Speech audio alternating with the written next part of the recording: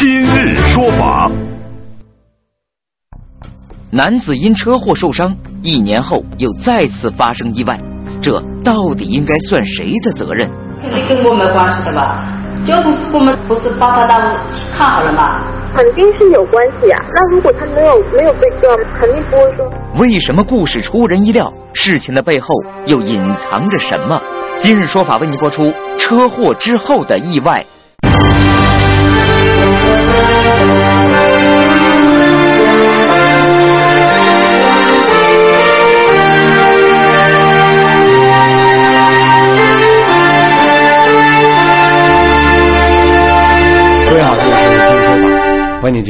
今天的节目。呃，在现实生活当中，我们每个人都不想打官司，但是官司一旦找上门来，想躲都躲不掉。江苏省有一位林女士，呃，一年多之前她就知道自己一定要打一场官司，呃，她就希望这官司早点来，早来早了。不过，当这场官司真的出现在她面前的时候，情况大大出乎了她的意料。看一下今天的记者调查。这辆黑色轿车是林女士两年前买的，可是她已经有一年多没开了，因为这辆车买了半年就出了车祸，直到现在还没有处理完。林女士甭提有多闹心了。二零零八年一月的一天中午，林女士开车行驶在无锡郊区的一条路上，对面却突然驶来了一辆电动自行车。我正在看见他不知道怎么搞的，往往那里撞了。林女士说，她是正常行驶，而对面开来的电动自行车是越过了公路中间的双黄线冲过来的。很近的，他的车速也挺快的，是他撞上的，不是我去撞他的。骑车的一名男子撞到了汽车的挡风玻璃上，随后滚落在地，一动不动了。林女士惊恐之余，迅速拨打了幺幺零报警，并拨打了幺二零叫来了急救车。赶到现场以后呢，这个有发现现场有一个轿车是斜停在这里，车头朝东。哦。这旁边呢停着一个电动车，旁边有个有个人受伤的，呃，头部受伤。交警在伤者身上发现的身份证显示，伤者名叫沈根芳，五十岁，无锡本地人。林女士跟着随后赶来的幺二零急救车，把沈根芳送到了医院。病人来的时候是昏迷的，是一个蛛网膜下腔出血，呃。重型的颅脑外伤。医生说，沈根芳当时虽然有生命危险，但幸亏送来的及时，所以抢救过来的希望还是比较大的。沈根芳随即被安排住进了重症监护病房。林女士交了五千元押金，随后又通过沈根芳手机的通话记录联系到了沈根芳的哥哥。马上得叫个小车，赶快给我到二院。沈根芳的哥哥赶到医院时，医生们正在紧张的抢救着沈根芳。沈根芳的哥哥说，沈根芳是在当地一家公司做保安。据他了解，当天出事时，他应该是在下班回家的路上。经过医院三天三夜的抢救，沈根芳的生命总算保住了。生命是保住了，但是呢，因为是颅脑重型颅脑外伤以后呢，他的智力还是有影响的，就像一个小孩的一个小孩的一个智力。沈根芳的命保住了，林女士总算松了一口气。就在这时，林女士接到了交通事故责任认定书。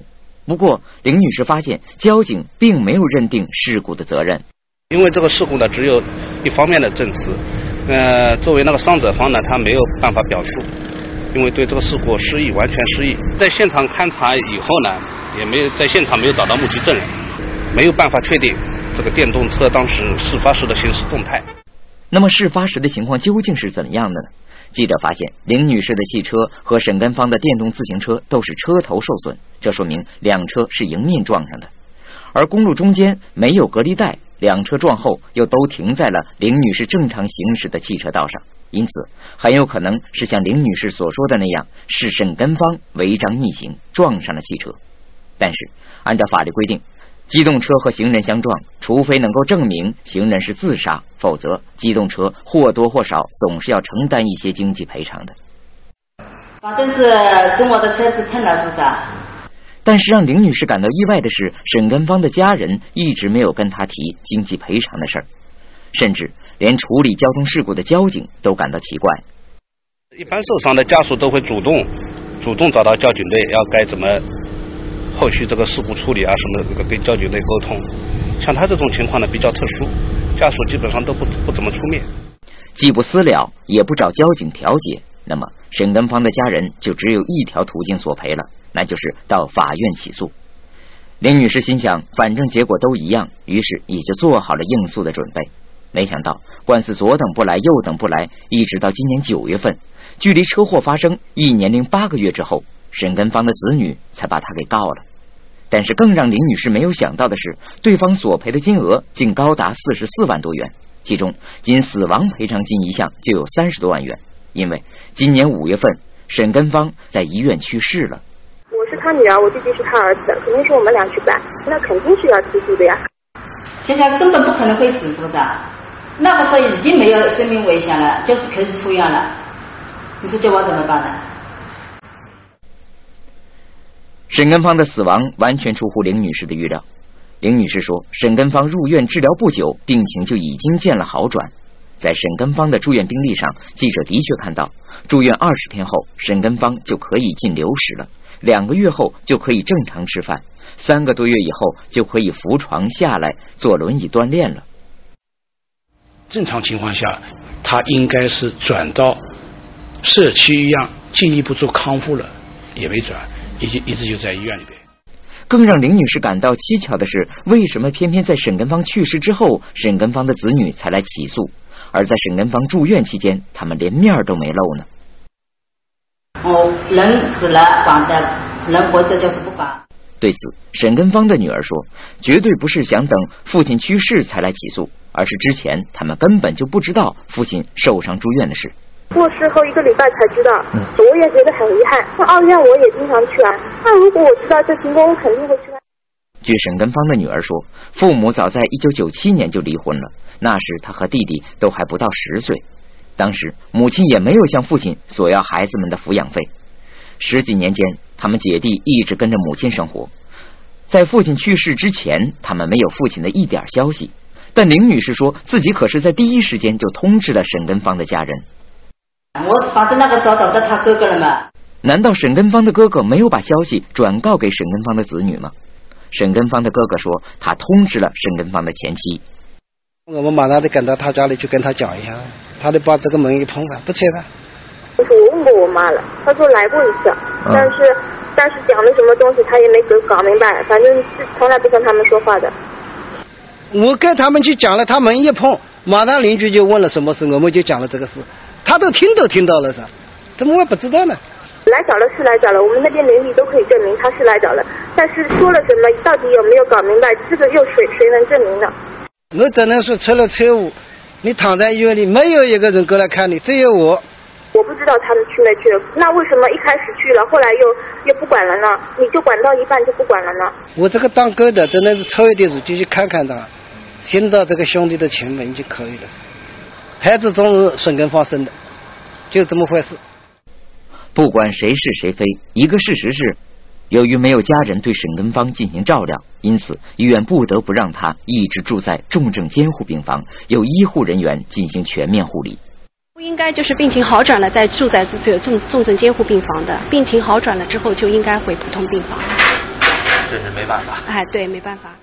林女士认为，沈根芳经过治疗，病情本来已经好转了，她的死亡是因为在长达十七个月的住院期间没有得到家人的照料和护理。这个肯定跟我没关系的吧？交通事故嘛，就是他那个时候不是帮他那看好了嘛？他们就是不寄回家去嘛？肯定是有关系呀。那如果他没有没有被抓，没有被送到医院，那肯定不会说。林女士说，她的确是车祸的当事人之一，但是自从车祸发生之后，她又是打电话报警，又是送沈根芳住院，还积极的交纳了住院费，该做的都做了。那个费用都这时候用多少都是我我出，是不是？超市方呢，他是交了两万八千。林女士觉得，与沈根芳的家人既不出面也不出钱相比，她已经是仁至义尽了。更何况还是沈根芳违章撞了他的车。真的，我也是受害的，是他撞上来的，我真的我不是我去撞他的，这个事情是。我们今天请到演播室的嘉宾是中国人民大学法学院的龙应飞教授。龙老师，在这个机动车如果和非机动车和行人啊发生了碰撞，机动车司机应该做一些什么样的事情？第一，保护现场；嗯第二一个就是要抢救伤者；嗯，第三呢，报警。那么，行人非机动车这一方可以通过什么样的途径获得什么样的赔偿？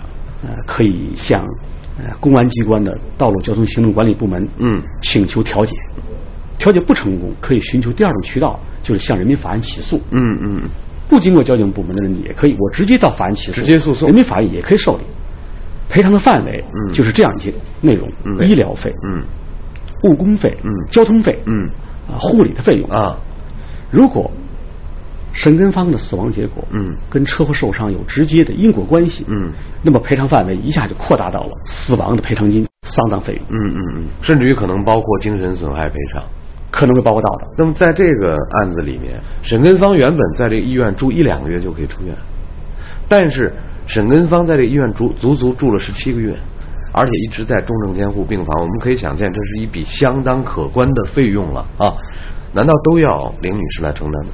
哪些是因车祸受伤引起的损害赔偿项目？嗯，哪些是因为死亡导致另外的赔偿项目？嗯，那林女士只在自己的责任范围内承担责任。嗯，责任多大，赔偿范围多大。嗯，不能一股脑的把沈根发在医院里的所有费用，嗯，都不加区别的一律拽在林女士身上。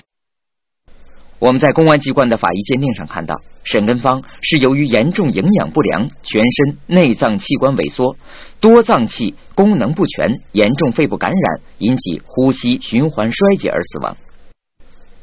林女士说，严重营养不良正好说明了沈根芳的死是长期没有得到家人照料造成的，根本就不是由于车祸受伤导致的。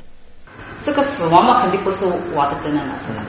责任嘛，肯定他家属啊还有什么没有去服侍什么的。但沈根芳的女儿仍然说，她不知道父亲住院的事情。让我来说呀，让我来说的话，他就会觉得是家属没有去照顾，那我们没有照顾，我们都不知道情况，那你说去找谁？而沈根芳的哥哥则提出，弟弟死在了医院里，医院也应该有责任。因为他这个病人跟人家不同，他在重症监护室，医院的全方位包得上，这是就是医院的责任噻。你既然全方位包了，为什么包到他死呢？对于沈恩芳哥哥的指责，医生首先向记者出示了沈恩芳的住院单据。治疗了十七个月，总共发生的医疗费用呢是七万两千多。嗯，到目前为止呢，含全医药费用是四万四千。这个里边是纯粹医疗费，啊，还不包含请的护工啊、饮食的费用、穿衣服什么的，都是医务人员从家里带来的衣服，然后募捐的钱给他去买的吃的。医生介绍说，他们特别遗憾的是，在极为关键的康复阶段，沈根芳严重缺乏亲情的温暖，影响到了他的心理和情绪，致使他逐渐厌食，渐渐的吃不下东西了。医院也无可奈何。心理疏导，医生只是起一个促进的作用，但是家属的亲情在心理上的作用，比医生护士能提供的可能更多一点。记者发现，沈根芳和家人的关系并不太好，他的子女和哥哥似乎都对他不太亲近，这究竟是怎么回事呢？好端端一个人自己搞到这样的。从沈根芳的离婚判决书中，我们可以看到，沈根芳当年因为赌博被单位开除，两年后离家出走，之后妻子起诉离婚，法院判决离婚时，沈根芳也没有到庭。沈根芳的哥哥说，沈根芳当年对家庭的确不太负责任。今日有酒今日醉，吃光花光就好。以至于离婚之后，沈根芳的前妻从未跟孩子谈到过他。他就是对他这个人，他就不评价的，也不说话的，也不在我们面前提的。沈根芳的哥哥说，他曾多次劝弟弟改正缺点，但是弟弟屡教不改，这让他很是失望。渐渐的，他也就不想再管了。不要跟弟弟就是这个两个字，可怜。今年五月，沈根芳在受伤住院近十七个月之后，在原本已经脱离了生命危险的情况下，生命还是走到了尽头。也许沈根芳在性格上的确存在着缺点，也许他在处理家庭关系上的确存在着过失，但是在沈根芳生命的最后时刻，他的身边没有亲人，除了一直陪伴他的医护人员，就是这些记录着他营养不良的文字。二零零九年四月一日，患者极度消瘦；四月二十三日，患者极度消瘦；五月十日，患者极度消瘦；五月十三日，患者极度消瘦。两天之后，沈根芳离开了人世。我们在医院也看到了医生们为消瘦的沈根芳拍摄的照片，这是他留在这个世界上的最后的样子。目前，相关机构正在对沈根芳的死进行司法鉴定，以确定沈根芳的死亡与交通事故受伤之间的关系。这我就有点不明白了，因为我们专门讲过，沈根芳的死亡鉴定显示的他是因为营养不良而死亡的啊。那已经有了一个死亡鉴定，为什么还要做一个司法鉴定？二者之间的关系是什么呢？对沈根芳的死亡结果的执法医鉴定呢？嗯，只是一个对他死亡结果的一个。客观的描述，嗯嗯嗯，营养不良死亡，嗯，这个营养不良和车祸受伤有没有关联度？或者说是否发生了车祸受伤的情况下是这样一个呢损害的后果？嗯，但是由于种种原因，由于各方面的原因，嗯，使得这个损害的后果扩大到了死亡了，嗯嗯，必须要求通过中立的啊司法鉴定，客观的按照技术手段做出个鉴定。如果他拒绝接受治疗或者拒绝进食，嗯，又没有其他亲属应当履行必要的陪护照顾的义务，嗯，导致了死亡的话，嗯，这样呢，林女士她最后的赔付的责任，嗯，会减轻，嗯嗯嗯，呃，这是一个让人觉得特别伤感的事情。沈根芳的五十岁的人生突然的遭遇了一场意外，这场意外使得他最终走向了死亡。其实更意外的事情是他原本不应该死亡。死亡的真实原因到底是什么？我们今天也许给不出一个答案，但是我相信每一位观众朋友在心里面都能够有自己给出来的那个答案。感谢您收看今天的节目，感谢龙老师参与现场讨论。时间同一时间，同一地方再见。